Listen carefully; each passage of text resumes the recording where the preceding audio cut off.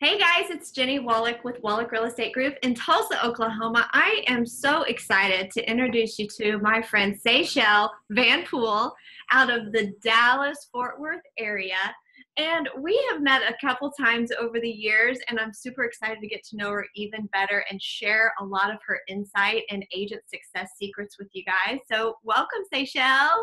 Thank you so much for having me. I'm so excited to be here, and uh, it's a real honor. So, thank you for including wow. us. You are so sweet and kind. You know, the thing we're going to talk about today is something that we haven't covered yet. And I think a lot of agents, um, if they're still a single agent and they're visualizing their future and a path and, and growth for them, it would probably include ideas around a showing assistant or some kind of help when we get to the buy side of our business. Yeah, so you're an expert on this, so why don't you just go with? Uh, sure. um, so this is a, a, business model that we have had in place on our team now for um, just over six years. Um, it is, to me, the best thing since sliced bread. It has revolutionized our buy side business, and before we started using um, what's known in the industry as the showing agent model Mm-hmm. What was happening was, as we found on the buyer agent side, you could blow and go and burn the midnight oil for about 18 months. Mm-hmm. Um, you would do anywhere from 24 to 40 transactions um, without any assistance. And in that year, you'd hit that number and you would just start burning out. If you could get to 50 transactions, you were really, really, really tired and burnt out. Yeah. And we found that quality of life was suffering, energy was suffering, vacations were suffering, family was suffering, um, all in the name of trying to increase your production. And so um, we're big on our team about per person productivity, about um, helping people to attain a really attain a really high quality of life and allow them um, an opportunity to have a great net income at the same time. And so we started um, talking to Josh Anderson and to Aaron Armstrong, who both really led the charge on a national basis mm-hmm. showing agent model, and started to say, hmm, I wonder if we could do that in our business. Um, from there, we basically made a list of everything that a buyer agent did during the transaction, from lead generation all the way through the closing. We had a transaction manager then from once the property went under contract through the closing table already. We already had two um, fully licensed full-time administrative people. So we already had the admin leverage coverage. So now we're talking about help after you've added your admin. I wouldn't recommend you do this before right. administrative help. Um, so we made a list of everything that happened during that process. And what we found was um, number one, that service was compromised because an agent couldn't do it all well. And we found the second thing was um, there, the majority of the time that was being spent that was um, cross trainable or easily implementable was the point after the buyer representation agreement until the point that the buyer finds the home. Mm-hmm. So basically, what we did is we found that 80% of the time in a buyer's agent experience or transaction is enclosed in that time. And so we started asking a question of what would a world look like where a buyer is getting like super high quality intel on the property that they're seeing that this agent is like a ninja that can find out details about the property before they go see it because they have the time to focus in and become a real specialist in that area thus enhancing the entire process for the buyer and at the same time leveraging 80% of the time for the buyer's agents to focus on what they do better right which is they should be lead generating they should be signing buyer reps, and they should be negotiating contracts. Mm-hmm. We said if they're focusing on those three things, right, the three L's, um, they're focusing on those three things, how much more could they do?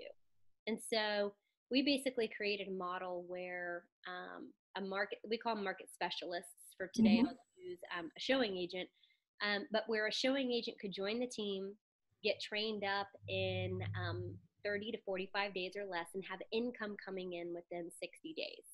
That was our goal.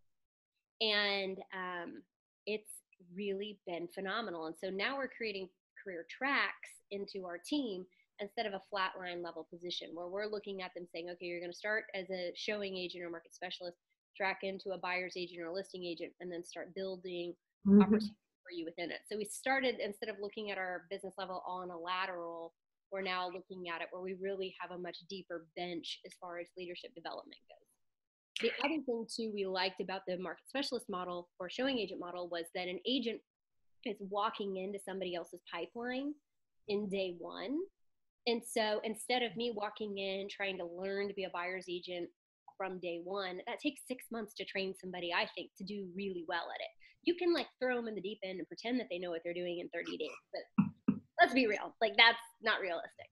Like to be an actual like legitimate threat, you need six months to really train somebody well. Um, and so we found that instead of six months to build a pipeline and to build revenue, we could do that in you know 30 to 60 days and walk into somebody else's pipeline, walk in with somebody else having a vested interest, be getting cross trained with multiple people cross training you instead of just one. It really created a much more enhanced experience. Wow. So now that you've been doing this for quite a while and you've seen great success, looking back, were there some challenges or things that came up that you learned, oops, that doesn't work? Sure. Um, I think the first one was getting buy in from the, the team members. I think a lot of people think, well, nobody can do the job as good as I do. Nobody can find the properties as well as I do. Nobody can educate the client as well as I do. And uh, we had a team member, her name was Audrey, that had um, interned with us for a couple of years and then was full time with us as a buyer's agent. And she decided to go back and get her PhD in psychology and really wanted to stay with the team and pay for school by being on our team, which was awesome. But we knew we couldn't do it with her not having leverage. So she was our first beta tester. And she mm. really worked hard to cross train our first showing agent, Carolina. And um, she, with a showing agent, she worked half time because she went to school full time she worked half time, about 20 to 25 hours a week, and our other buyer's agents worked full time. She did 45 transactions, she did 28. Wow. That says a lot about a lot of things, doesn't it? Mm-hmm. And we said, wow, there's there's a lesson that we could take here. Now can we duplicate it, right? But it took someone coming in and proving it. I think until yeah. somebody sees it proven, this one over here was like, mm nope, not letting go, not gonna do it, not willing to, nope, you know, I'm not gonna do it over here. Yeah. To say, well, we're going to have to define what our model looks like. We're going to have to define, you know, what we're willing to do moving forward. And and for us, the standard became that every single home that gets sold on the buy side will use a showing agent. So I can see the ego coming into play for buyer agents that are already in production. What about for the marketing specialist, as you call them now, or showing agent, as some call them? What about for them? Do they feel like they're in an assistant type role? Or is there training and accountability all along the way building them up with, with confidence and, and a growth plan? Uh, that's a great question, Jennie. I think I, I think back to like when you walk into um, a doctor's office, right? Mm-hmm. And you're talking to a nurse practitioner versus talking to um, a RN like and that conversation goes oh well this nurse is going to kind of do your blood work and she's kind of new and she doesn't really know what she's doing. I hope she didn't poke you you know? Versus someone saying you're going to meet with our nurse practitioner. She's highly trained. Um, she mm-hmm. pretty much runs the ship here and this is her area of expertise and she's going to take all your vitals and make sure everything is buttoned up so the doctor can spend the most important time with you on focusing on you as a patient mm-hmm. instead of on all the little bitty details that need to happen right? How much different do you feel in that doctor's experience when you're sitting there getting your blood drawn, going, you know, versus, oh, okay, well, they've got this. Doesn't matter whether it's their first date or not, the level of confidence and the way the pass off has occurred, excuse me, is, is so different. Mm-hmm. And I think it's the same thing on the team. The market specialist for us or showing agent truly becomes a partner in that business right. and a partner in that experience and their job they own it's not like you're passing them down and saying well my assistant laura is going to do this for you you're going no this is jody she's phenomenal at what she does mm-hmm. this is what she does all day every day in a home in a year she sees over 2000 houses do you think she's going to know how to help you peg yours? Her job is to show you somewhere between three and seven homes and be able to nail the exact purpose house and get all of the information that you guys can't get on Zillow or any other website um, to help you make the best decision for your family. On top of that, she's looking for homes off market and building relationships with the realtors out there so that when our offer gets presented, we want to work with you, not somebody else. That, I mean, that's a totally different experience, right? And it's the exact same script that all of us agents, as we started growing our team, had to start having a buyer agent. So exactly right. It, but it, it is scary letting it go. Yeah. And I think once you realize that if you can have a higher quality of life, mm-hmm. when you're good to yourself and you're good to your family and you're good here, you can give so much more to your clients. And so having that true partner in that market specialist mm-hmm. role is really phenomenal. So we have three buyers agents and three market specialists, and everybody rotates through. So on our lead flow, it goes buyer agent one, two, three, one, two, three with leads. The mm-hmm. same goes on the market specialist line. The buyer's agent would go one, two, three, one, two, three. And we did that intentionally so that somebody, if somebody had a dry month as a buyer's agent, that market specialist wasn't dying on the vine with that person's pipeline. They're yeah. spreading out the productivity around the team. Well, that was actually my question. It was going to be do they work in pairs and kind of form their own team? And I could see where that could have some challenges. And you've just said that no, that's not the way you do it. So, I mean, I, I know of some teams that do that, and I think mm-hmm. it's phenomenal. I think um, for us, we view it as a cross training opportunity because mm-hmm. we're, we're not looking at this as a dead end role. We're looking at it as a promotion path. Mm-hmm. So, the more that we can train you in the process, the better. I would also encourage if someone is looking at this model to pay the buyer's agent or the market specialist or showing agent 1st mm. off the mm. top, not giving the buyer agent, oh, here's X amount of percentage and you pay this market specialist or showing agent. What happens with that is cherry picking starts to happen. And when you start to see cherry picking, you start to see what them taking the higher end deals. Mm. I want to work with this buyer because they're going to be easier. I'll only give you the hard low end ones. Right. That creates a, a negative experience for that showing agent. But it also does the reverse of what you're trying to do, which is give them leverage, right? You're like, no, no, no. I'm trying to leverage your time. Focus on lead generation. Don't go cherry pick buyers.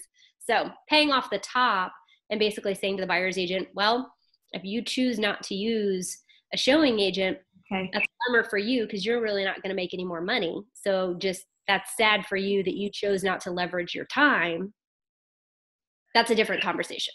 Okay, I'm going to have to replay that later on and really absorb that because I think there's a lot of power in that. That's the most people aren't doing it the, that way in the country, yeah. and I think that is our secret sauce.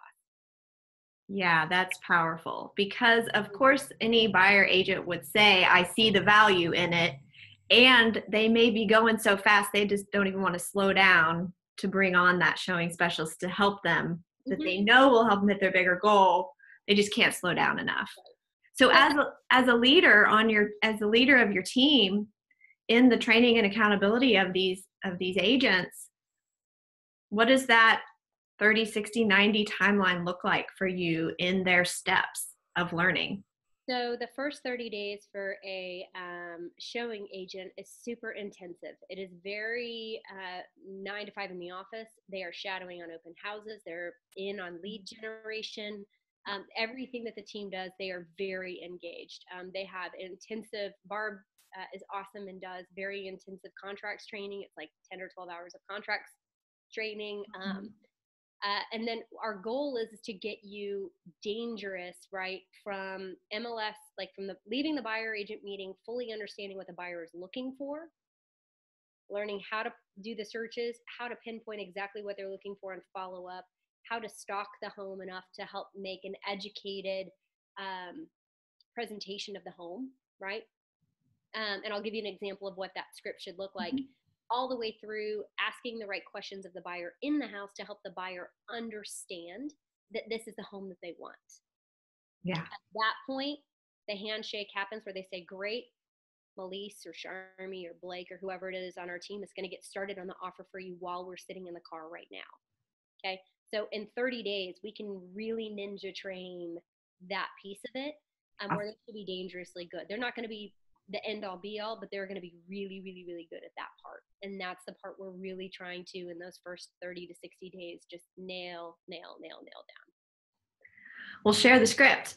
So I think a lot of um, consumers view a realtor as walking into a home and opening the door and then saying, Well, what do you think? Or mm-hmm. do you like this house?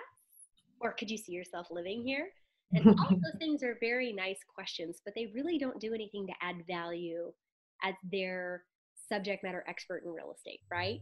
And so what we have trained our market specialists to do is to prepare so well before they walk into the home where they have a packet on the house before they're walking in and to say jenny i know we're seeing four homes today and this house that we're seeing i'm going to let you know right now is actually the highest dollar per square foot home that we're going to see i've already run comps for the neighborhood and i want to let you know that it is actually priced at the very top of the neighborhood and it's actually a little bit overpriced so unless you absolutely love this home and have to have it, I'm going to let you know that we're going to recommend that you maybe look at other options for houses or that you need to be comfortable overpaying for this house compared to the other three homes we're going to see today. Is that okay with you? Okay. Okay. Now, vice versa, on the other end of that, we're at home number two. And I'm going to say to you, Jennie, we're walking into this home today. I need you to understand that this home is actually the best priced house that we're going to see. It's priced very competitively and fairly. The seller isn't gouging you. I want to let you know that we've already talked to the realtor on this house and they do have one offer on the property, but they have agreed to wait until we see the property to present the offers. Mm-hmm. So, if you're interested in this, we do need to get working on an offer right as soon as we leave. Does that sound good?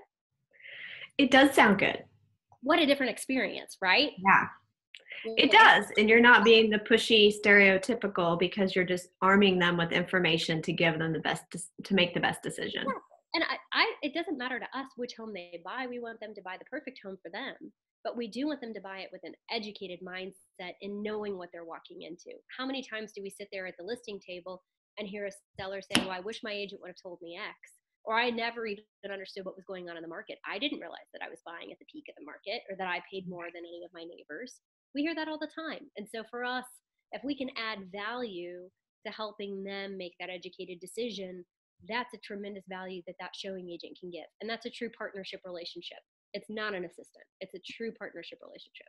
Right. So, this, of course, will make it really clear for anyone that watches this. This conversation only gets to happen after you've already had a sit down consultation with the clients. You've already established the trust so that then you are free to share this, right?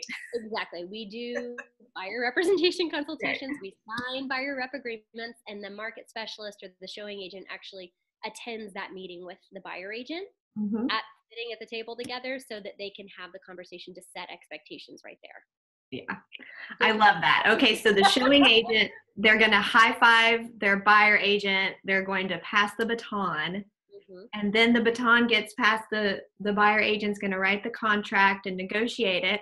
Yes. Does it ever come back to the showing agent again? Um, occasionally, they will uh, either come and attend an inspection. Usually, the buyer agent is doing that, and occasionally they'll attend a, a final walkthrough. Um, but the majority of the time, then the buyer agent is taking the baton at that point, and the market specialist is then on to focusing on the next client. So, how many buyers can a a solid showing agent, marketing specialist, how many can they be working with at the same time? Our average buyer's agent right now closes anywhere from five to six a month. Mm-hmm. Um, and the average market specialist is anywhere from four to six a month. And awesome. Majority of our market specialists in their first year make up somewhere between 75 and 80,000 net. And all of our, pretty much all of our buyer's agents are over 100,000 net every year. Yeah, and let's just point out what's your average sales price in, in the Dallas area? Um, fifty-nine thousand is our average sales price. Okay.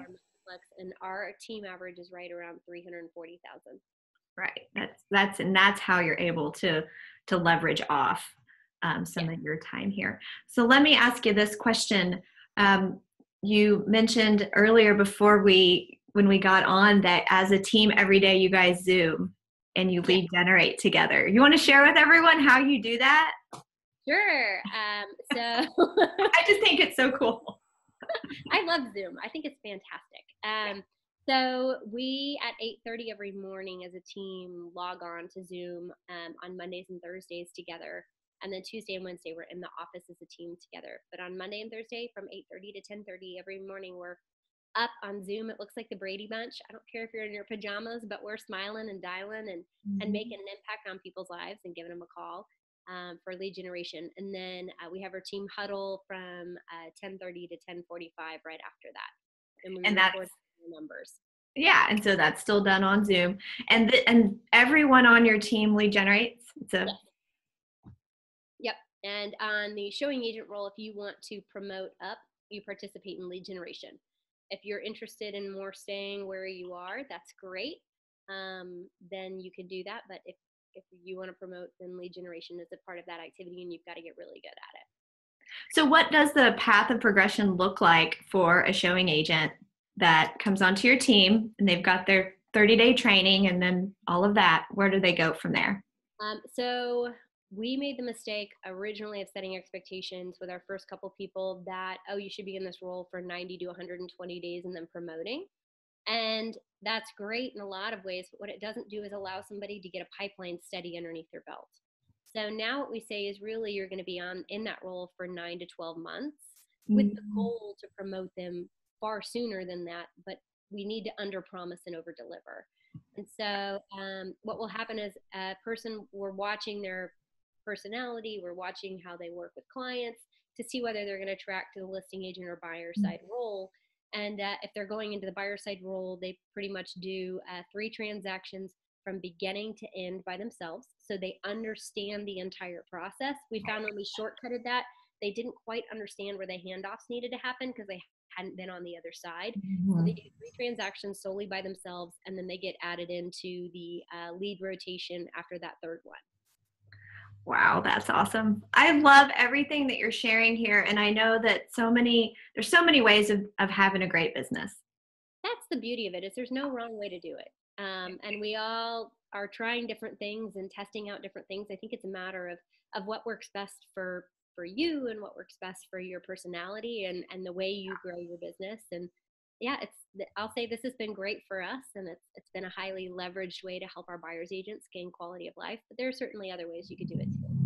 Yeah, and at the end of the day, we we grow a team not because we um, really desire world domination. We grow a team because we love helping people and giving back. And the more that we can help our our agents on our team have a big life as well is awesome too. Exactly right. Well, while we are wrapping up, I didn't get to share what was your production last year in 2017 and what's your big goal for 2018 so we can help you out. Sure. Um, so we closed at 213 sales last year for 77 million in production. Mm-hmm. Um, our goal this year is 413 sales. So we've got big goals. Um, and uh, we love what we do. So we'd love, if anybody has anyone moving to Dallas, Fort Worth, or Austin, we'd love to help you out. So, how can they get in touch with you when they have a referral? Um, the best way is to give us a call. Um, I'll give you our phone number. It's 972 608 0777 or you can email us at Barbara, B A R B A R A, at Vanpoole, V A N P O O L E dot com. Don't you love all of our really long, funny names? Yeah. I don't spell it out. Yeah, yeah might as well. Great. We love what we do. Well, we appreciate you for sharing all your knowledge and look forward to seeing you here pretty soon in Anaheim. Oh, I'll see you in a couple days. Yeah. Well, have a great day. If you guys need anything from me, my number is 918 706 9845. Have a great day. Bye. Thanks. Bye.